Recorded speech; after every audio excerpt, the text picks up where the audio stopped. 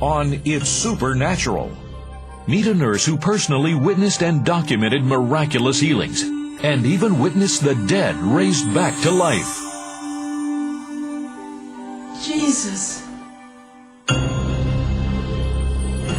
Do angels exist? Are healing miracles real?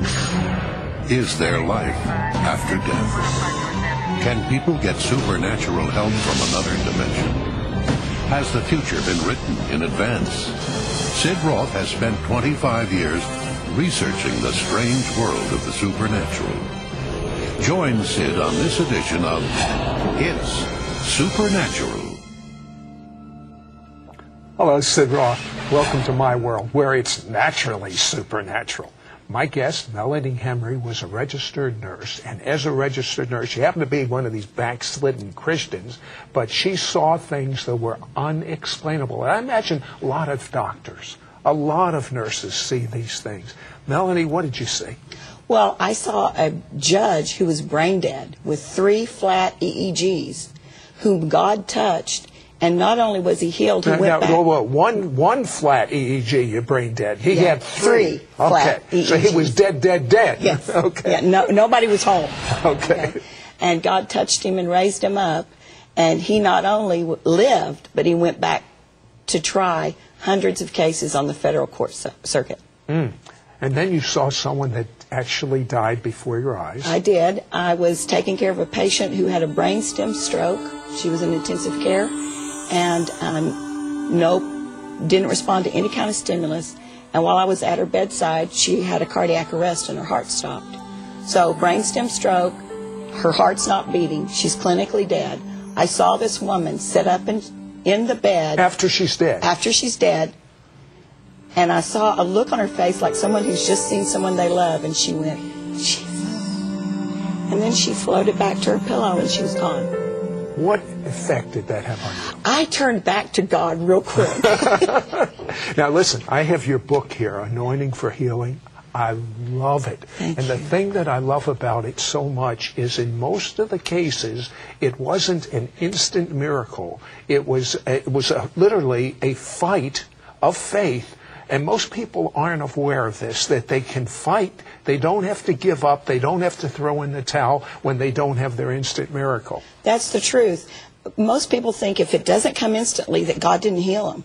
But that's not true. Well, let's talk to one of these people in the book, Wendy Moore, who had uh, Lou Gehrig's disease. Uh, hello, Wendy, are you there? Hi, Sid. I'm here. Hi. Tell me about, take me from the time you found out you had Lou Gehrig's disease and uh, what you did about it. Okay. Well, I was diagnosed with Lou Gehrig's disease April 17th of 2001. My uh, youngest or my youngest son was only four weeks old. Oh, how tragic. Hmm. It was a devastating. I had a four-week-old baby and a two-year-old little boy, and I didn't know that my children would ever grow up to know who their mother was. Um, the doctors at University of Michigan Hospital told me I had two to five years to live. Um, that I should quit my job and and basically prepare Does- to die. I have friends that have died from Lou Gehrig's disease. Is the, uh, does anyone survive? No, it's it's a fatal disease. It's always fatal. Uh, your nerves die off, and which supply your muscle with the with the ability to function, and your muscles waste away, and it's a it's a tragic, uh, terrible death. But you had an aunt that told you something you had never heard. Yep, she told me that um, that there were promises in God's word for my healing, and that I was going to live and not die and declare the works of the Lord.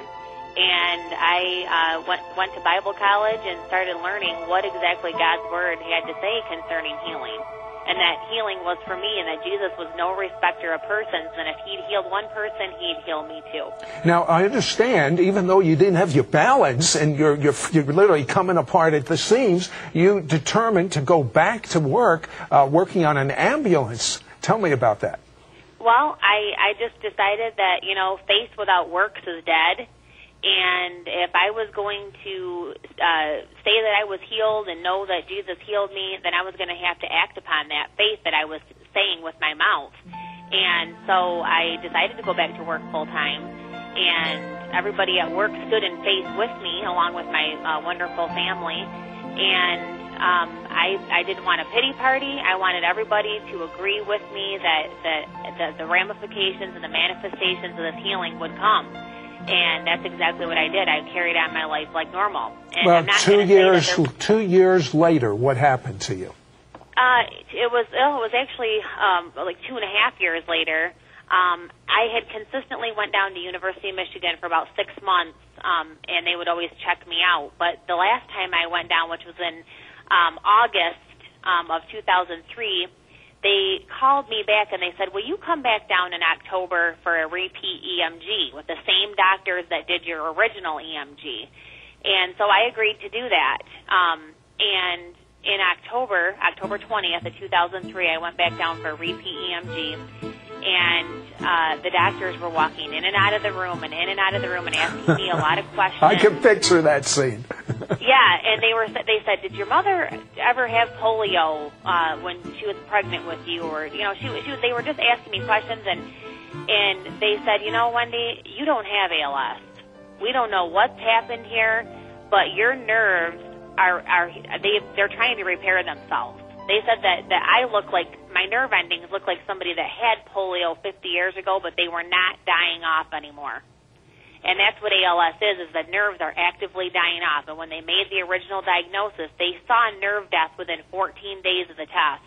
And when they did the, uh, the EMG almost three years later, the nerves had stopped dying off. So, what do the doctors have to say about this? They had to leave us alone in the room for about 30 minutes because we were just in awe. Uh, we were, we, I had never felt so close and felt God's presence so over, uh, it was an overwhelming feeling like God had answered our prayers exactly how, how we'd asked Him to answer them. Um, you know, we stood in faith and we trusted Him and we acted upon His word and, and He, He. But what did the doc- there. Wendy? What did the doctors say? They they they ca- they said it's a miracle. They said they have the the the the doctor came in and told my mom and dad, "You just got your daughter back." We Well- have never been able to tell anybody this, but you just got your daughter back, and we and they were crying. They were absolutely devastated. But, but well, well, Wendy, don't it. you understand that the disease you had is a death sentence? Absolutely, I do, and I've seen so many people that have since died from Lou Gehrig's disease. And I, you know, I'm here today, you know, proclaim, proclaiming the works of the Lord. Just Yeah, now, do you believe everyone can experience healing that, that, that follows what you did follow? Absolutely. You know, I, I am so glad, Wendy, that you're in the book. I'm sorry because of time. I'm going to have to say goodbye to you right now.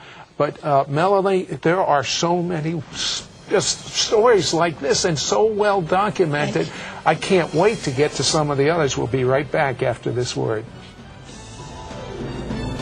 We'll be right back to It's Supernatural. To It's Supernatural.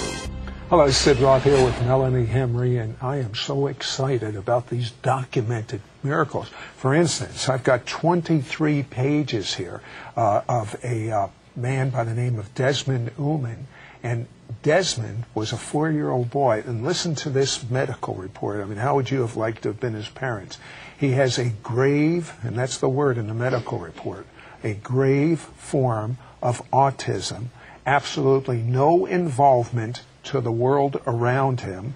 And then it goes on to say uh, he must learn to live with it, that this will never be able to heal again. Melanie, th- this is such an amazing story, and there's so many people that have either hopeless situations that are watching us right now, or or or children with autism. What type of bizarre activity uh, did he do? He was uncontrollable. He rarely slept. He banged his head against the wall for hours at a time. He had obsessive, he didn't speak much, but he would go obsessively, I am Desmond, I am Desmond. He would scream, he would spit his food. The stress of trying to raise this child almost destroyed the family.